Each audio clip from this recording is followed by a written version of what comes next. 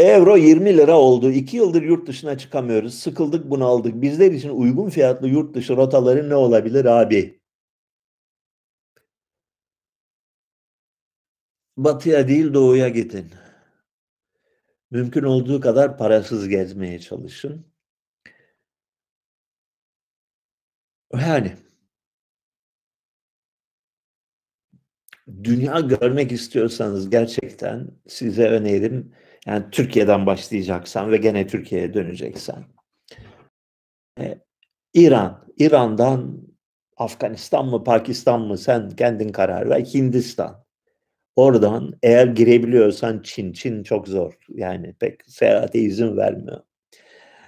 Ee, bu bir rotadır.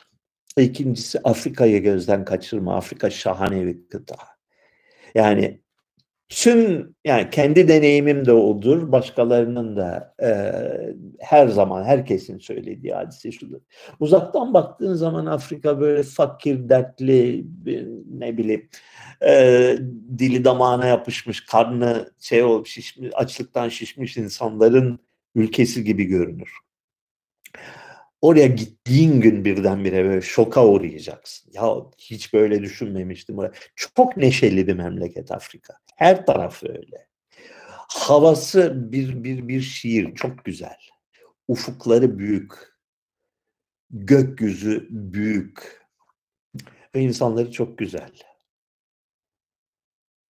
Yani e, çok şaşırtıcı bir memleket. Çok şaşırtıcı bir kıta. Yani Git Mısır'a, Mısır'dan güneye doğru vur.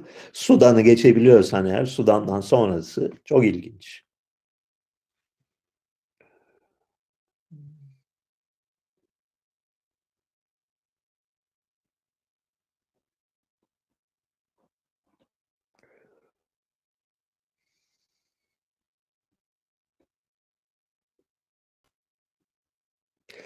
...2010 yılı civarında